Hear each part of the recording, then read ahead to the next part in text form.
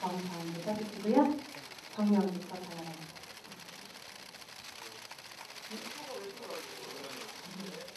정면.